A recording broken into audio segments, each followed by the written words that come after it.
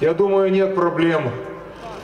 Нет проблем, и каждый понимает, и каждый знает, что нас сейчас хотят разделить.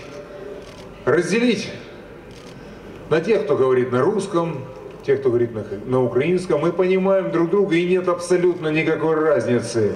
Нас хотят разделить географически, то, какую церковь ходит. Я не буду много говорить. Не буду соревноваться в краснословии.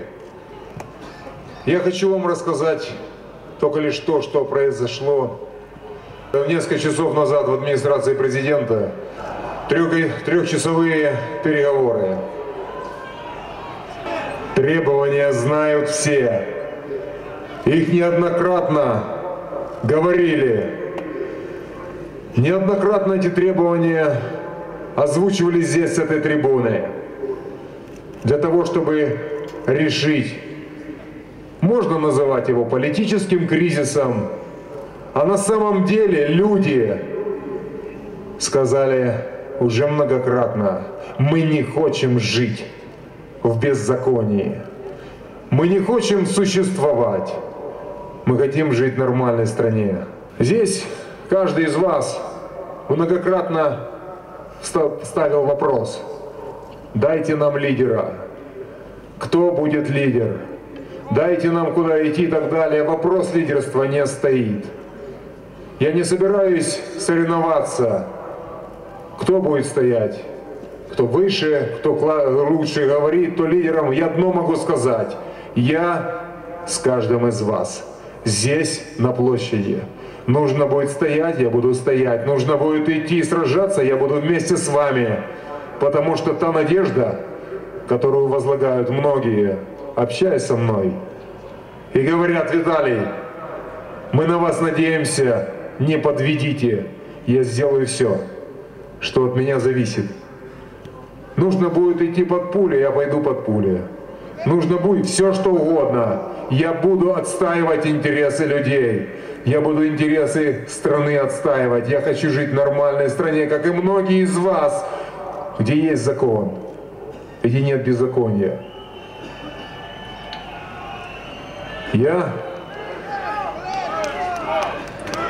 я обращаюсь сегодня, сейчас. Была создана, я коллеги расскажут, Рада, которая приняла ключевые принципы и на которые мы проголосовали. Решение может быть непопулярное.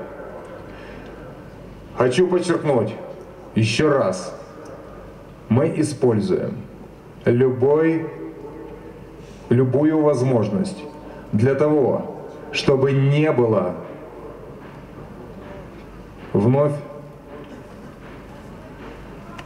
погибших чтобы ни в коем случае не поставить и не было вновь погибших под пулями. Сегодня собираются расчистить Майдан. Мы должны сделать все, чтобы зачистки не было. А завтра, если президент не пойдет навстречу, мы сконцентрируемся, нас будет еще больше, мы пойдем в наступление.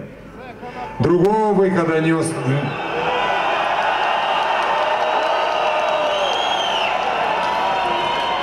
потому что мы хотим жить в нормальной стране.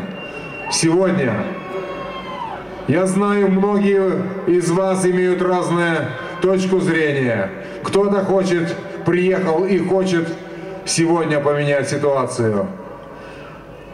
Нам необходимо собраться, собрать силы и использовать любую возможность для того, чтобы избежать дальнейшего кровопролития. Я сам ничего не боюсь.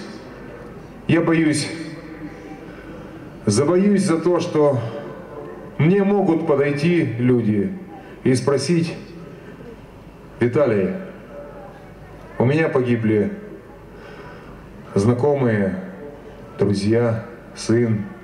Этого я боюсь. И поэтому я сделаю все, что от меня зависит, для того, чтобы не допустить кровопролития и все-таки найти путь решения этого вопроса. И еще раз Обращаюсь к президенту. Знаю, что в эту секунду он смотрит эту трансляцию. Знаю. У вас, президент, есть возможность решить этот вопрос. Досрочные выборы изменят ситуацию без крови. И мы будем делать все для того, чтобы добиться этого.